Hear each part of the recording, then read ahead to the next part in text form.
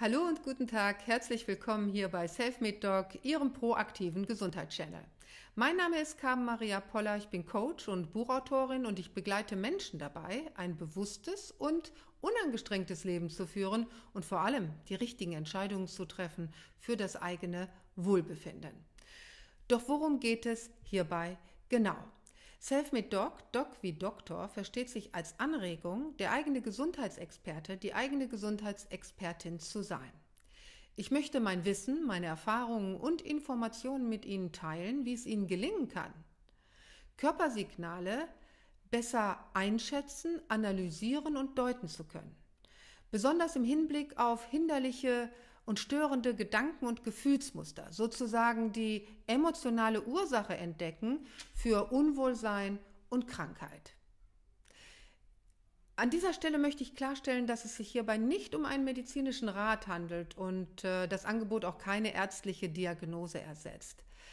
Es äh, öffnet den Blick, es stellt eine ergänzende Sicht auf die Dinge dar, sozusagen ein komplementärer Ansatz, der zum einen das Wissen aus Psychosomatik und Psychoneuroimmunologie nutzt, als auch ähm, äh, die Erkenntnisse der chinesischen Medizin, der Metamedizin, der Energiemedizin. Doch wie bin ich überhaupt darauf gekommen? Zum einen äh, durfte ich auch selbst die Erfahrung machen, wie es ist, äh, sich seiner eigenen Gefühle nicht immer ganz bewusst zu sein und wie es auch ist, äh, Gefühle, die unangenehm sind oder verletzend, beiseite zu schieben. So weit weg wie möglich, in die allerletzte Schublade, so ganz nach dem Motto, was ich nicht sehe, ist auch gar nicht da. Das funktioniert natürlich nicht. Denn ist das seelische Wohlbefinden aus der Balance geraten und äh, man merkt es so nicht, dann fängt der Körper an zu piesacken.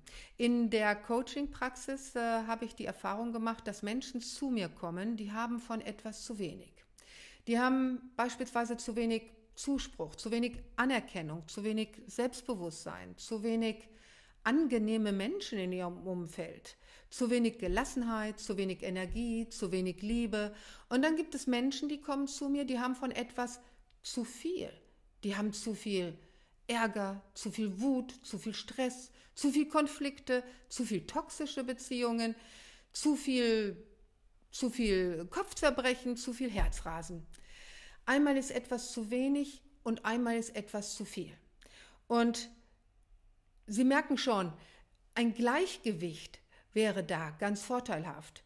Manchmal ist es gut, wir lassen etwas los und manchmal ist es gut, wir treffen eine Entscheidung oder wir holen etwas Neues ins Leben hinein. Wenn wir von etwas zu wenig haben, dann, dann ist oft ein Gefühl der Leere da und wir agieren aus einem aus einem Gefühl der Bedürftigkeit und des Mangels heraus. Und wenn wir von etwas zu viel haben, dann ist oft so ein Gefühl da, als würden wir wie in einem Hamsterrad laufen oder nur noch funktionieren. Und ähm, die Aktion findet häufig statt, weil man einfach angetrieben irgendwo ist oder versucht, äh, irgendwas haben zu wollen oder noch mehr haben zu wollen. Sowohl ein zu viel als auch ein zu wenig ist nicht gut. Ein Gleichklang eine Ausgeglichenheit zwischen dem, zwischen dem Sein und dem Tun, zwischen der Entspannung und der Anspannung, zwischen Yin und Yang, zwischen dem weiblichen und dem männlichen Prinzip. Das ist das, was uns in einen mental, emotional und körperlich guten Zustand versetzen kann. Und dieser gute Zustand, der nennt sich auch Gesundheit. Die Weltgesundheitsorganisation, die WHO, die hat schon vor Jahren Stress zu einer der größten Gesundheitsgefahren des 21. Jahrhunderts erklärt. Doch was genau macht uns überhaupt Stress?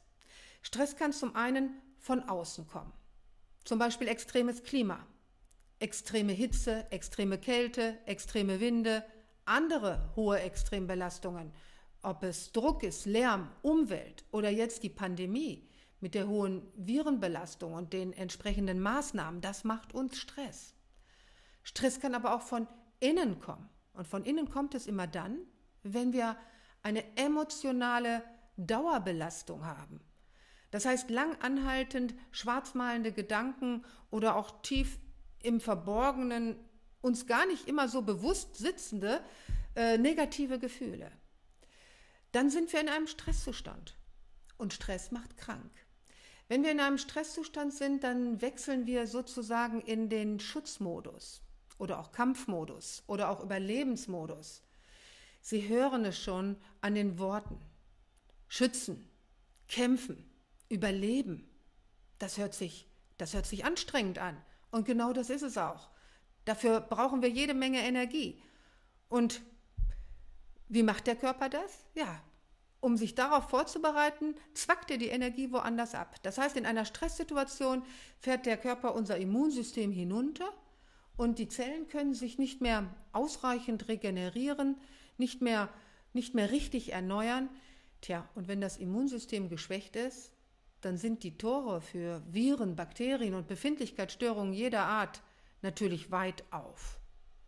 Und genau aus diesem Grund ist es auch so wichtig, ein Experte seiner selbst zu sein. Denn wer kennt ihren Körper schon besser und ihre Gefühle und ihre Gedanken besser als sie selbst?